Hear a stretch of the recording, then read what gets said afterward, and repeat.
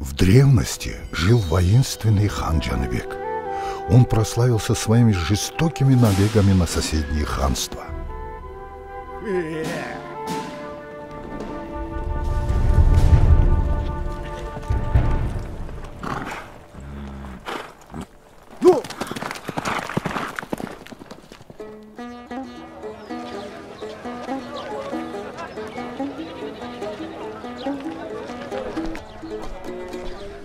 Так, дай мне самый сладкий арбуз для нашего хана. Вот. А он хоть спелый? Конечно, спелый, господин. А как мне узнать-то? Передай своему хану Султан Мамету, если вы не сдадитесь в течение трех дней, мы разрушим ваш город.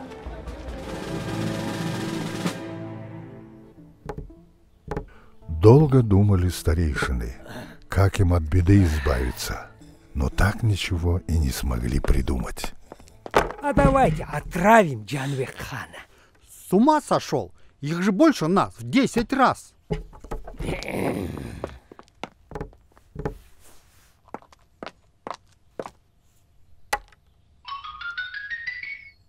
Давайте проберемся незаметно к Джанабек хану и убьем его. Так нас же все равно меньше. О боже, что я буду делать? Не пойдет.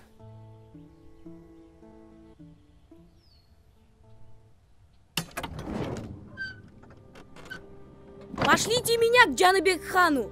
Я попробую освободить наш город от вражеской осады. Уходи отсюда! Ты еще мал, чтоб соваться в такие дела. Хан мой, злоба враг, а ум друг. Не сердись на этого мальчика.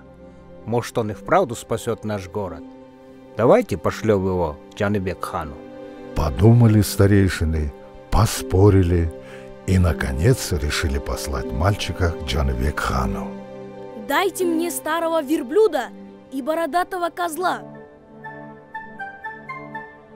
Удивились старейшины, но дали мальчику все, что он просил. Мальчик взобрался на верблюда, а козла повел за веревку. Недолго они шли к юрточному поселку Джаныбек хана.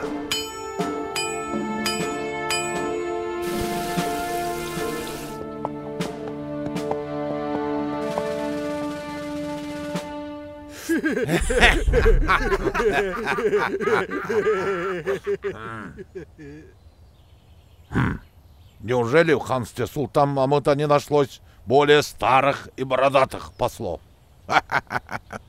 Если хочешь разговаривать с самым старым, поговори с этим верблюдом.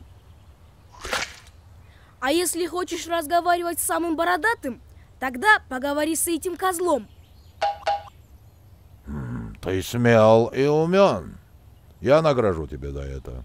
Проси, что хочешь. Подари мне столько земли, сколько влезет в мою сумку. Ну, хорошо. Тогда мальчик разрезал сумку на тончайшие полоски. Потом связал эти полоски в один длинный-предлинный ремень и обвел им осажденный город. Увидал это Джанабек хан и огорчился. Понял, что мальчик перехитрил его, да делать нечего.